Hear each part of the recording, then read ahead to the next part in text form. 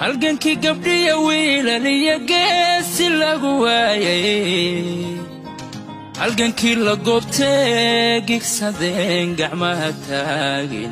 Halgankii gabdhiya wiilaliyo geesi lagu waayay. Halgankii la goobtee gigsadeen gacmaha taagin. Ilahay baa mahad iskale subxaana wa tacaala.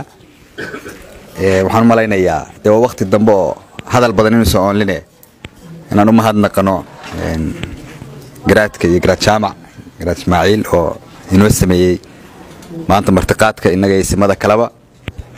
Garaad aad baanu kaaga mahad celinayna waxaan leenahay jasaaka allahu khayran jasaa ilaahay miisaanka xasanaadka ha kuu saaro isaga oo in badanna waxaa la yidhaahdo shirkan qabsoontankiisa iyo isku imaadka iyo keenidda iyo waxaa la yidhaahdo isu yeedhkaba lamarkow ka ahaa maantana aynu halkaa ku fadhino.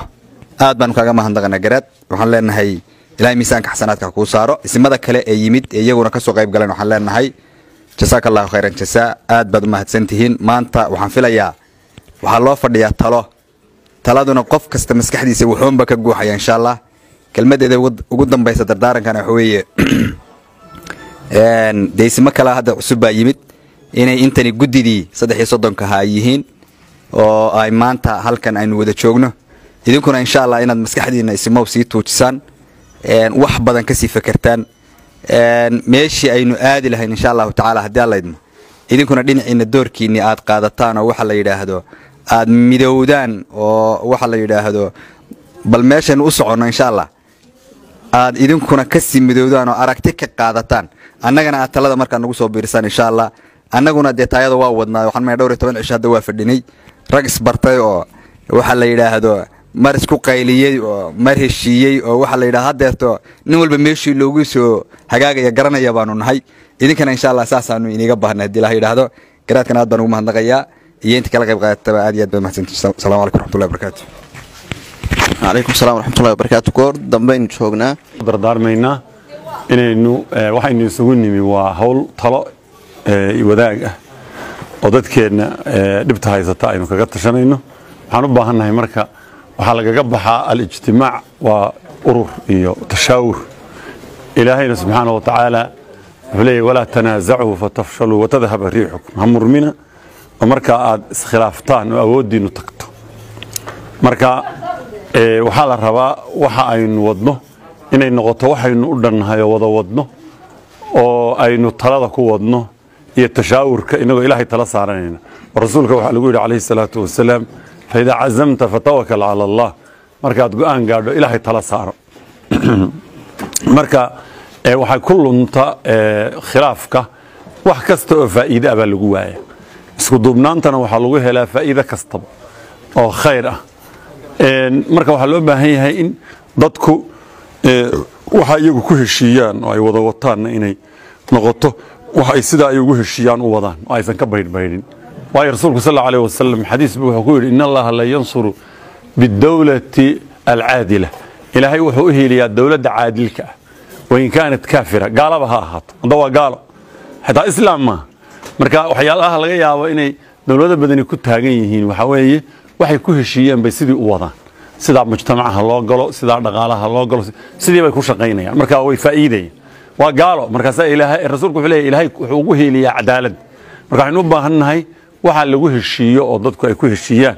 Ilaahay subxaanahu wa tacaala wuu inoo barakaynayaa in waxaasoo shareecada ilaahayna aan khilaafsanayn inaynu ku binayno hawsheenna iyo ijtimaaceenna khilaafkana in la iska ilaaliyo. Dadkuna inay noqdaan qof kastaba inuu qofka kale qadariyo.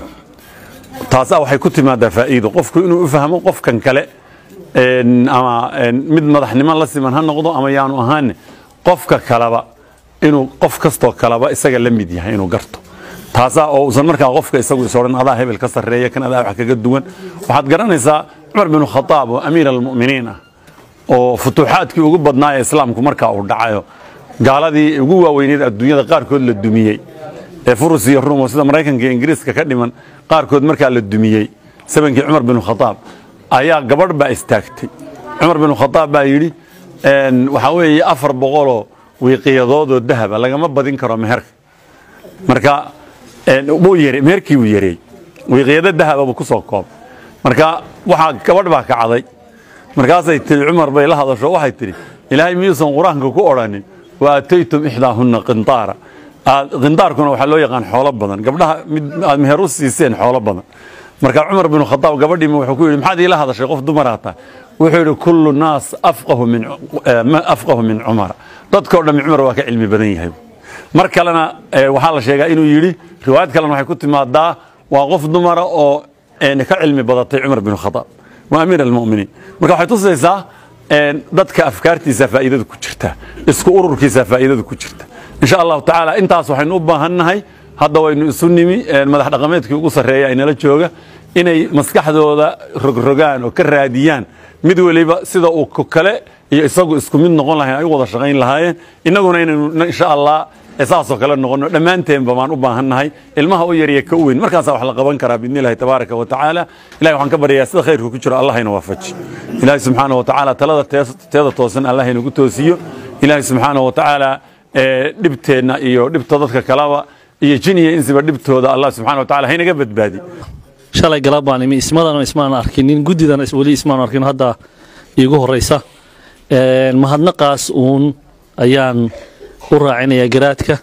Waxaan kaloo rabaa inaan u mahadnaqo guddiga soddon iyo saddexda ah oo runtii hawshii halkan taalay waqti badan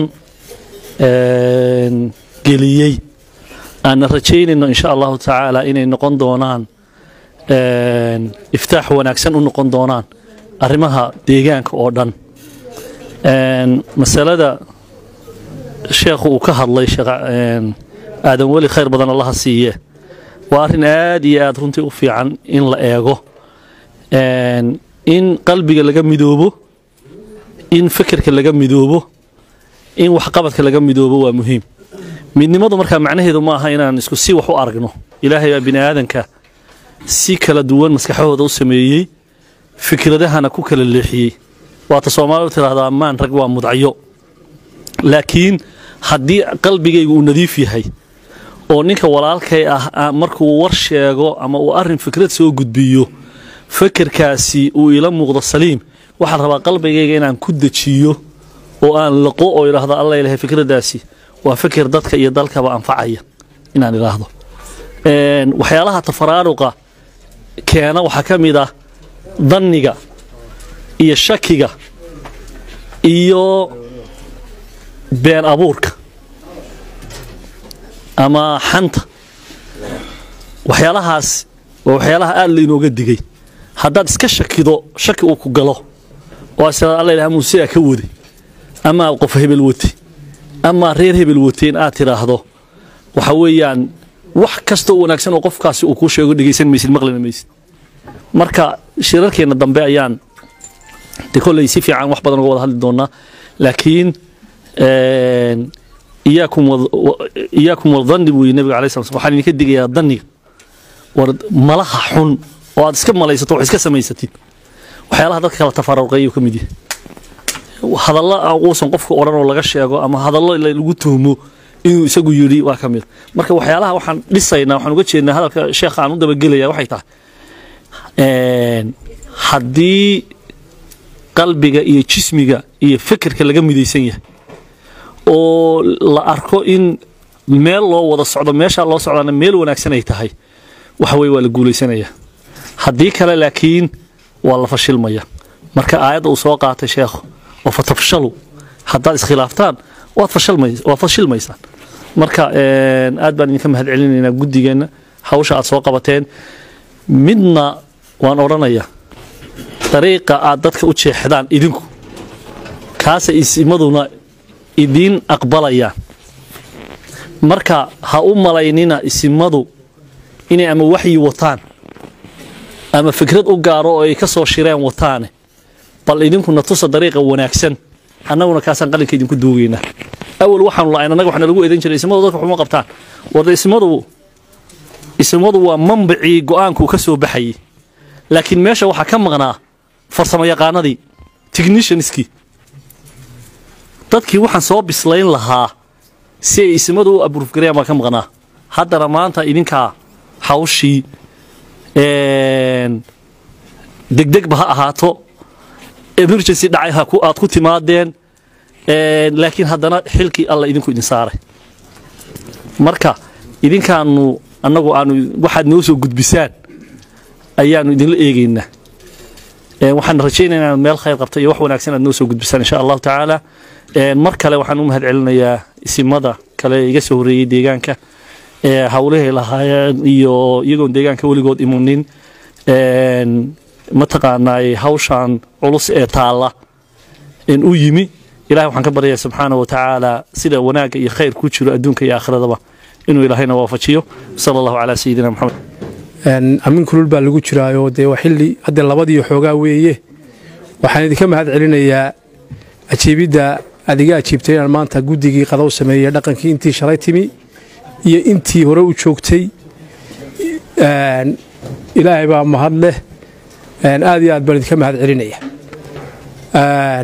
Waxaan u malanayaa maanta taladu way noo urursanaan doontaa insha allah garaadada yimi iyo kuwa haddeer soo gelaya iyo kuwa berri imaanayaba intaba waxaan leeyahay.